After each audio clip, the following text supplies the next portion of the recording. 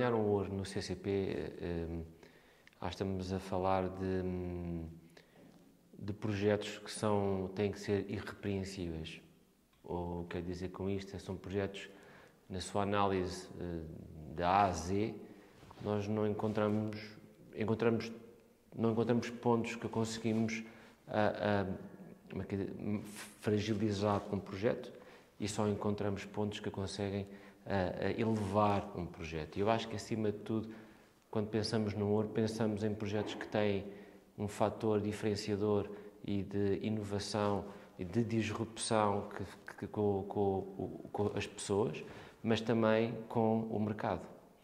Projetos que inspiram não só o consumidor, mas também o próprio mercado, que trajetam ou, ou criam uma trajetória daquilo que é um caminho uh, que está a ser desbravado, que muitas vezes leva muita gente a caminhar atrás desse, desse caminho, não é? Mas se calhar, muito mais do que haver pessoas a querer fazer igual, abrem possibilidade a nós conseguirmos encontrar novas formas de, de, de criar em, eh, em, torno dos desafios do nosso dia a dia, tipo enquanto agências, enquanto estúdios de, de design. E eu penso que, acima de tudo, são estes pontos que eu destaco. Os ouros deste ano, eu penso que são, são projetos que se elevam de uma forma nunca antes vista. De certa forma, são projetos que também têm ou devem ter uma percepção internacional. Não são projetos nacionais, mas conseguem ser percepcionados lá fora. Nós sabemos que o ADCE é parceiro do, do Clube de Criativos, portanto, muitos dos ouros têm tem entrada direta no ADCE e então dessa forma, quando nós olhamos para um ouro, temos que olhar para um projeto que, mesmo que parta de um insight local, tenha de alguma seja ou seja percepcionado lá fora. Com isto não estamos a dizer que só premiamos ideias internacionais ou com insights internacionais, mas que se for um insight local, consiga ser percepcionado lá fora. E acho que, de certa forma, os hoje deste ano na, na, na, categoria de, de, publicidade tentam ter esse drive, não é? ter essa, essa análise um, e no conjunto geral penso que aquilo que eu tenho visto também conseguimos trazer esse, essa avaliação para muitos dos outros que depois estão a ser avaliados para o Grande Prémio. Houve vários trabalhos preferidos, eh, é difícil no meio, acho que é um ano é, foi um ano mais curto, do ponto de vista. O, festival do ano passado foi em setembro, outubro, não é?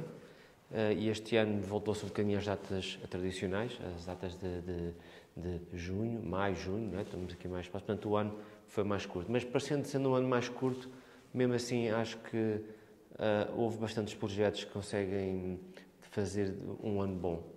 Uh, não consigo identificar só um, se calhar há um, pá, posso ter mais afinidade por um, por um ou outro, consigo destacar uh, uh, provavelmente o, o, projeto da Samsung, o tens na mão, acho que é um projeto óbvio, um projeto que seja pela, pelo facto de estar premiado em vários sítios, é difícil de não, de não, de não o, o destacar, mas não querendo cair também no, no, no lugar comum da ideia que toda a gente premia. Acho também uma campanha na minha categoria que eu, eu gostei bastante, ou que do ponto de vista de campanha filme,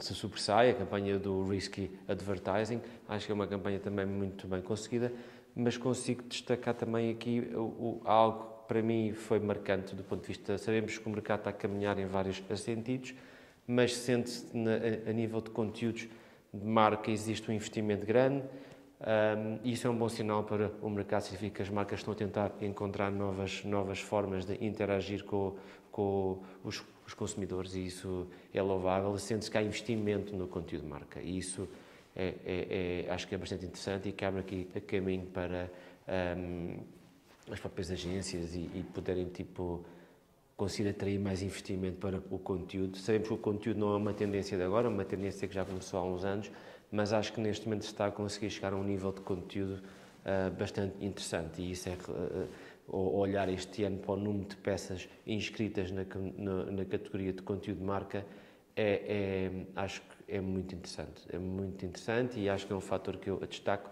um, e que aponta tipo, uma direção também que as marcas estão a responder ou, ou querem estar junto dos, do, dos, das, das pessoas de uma forma diferente.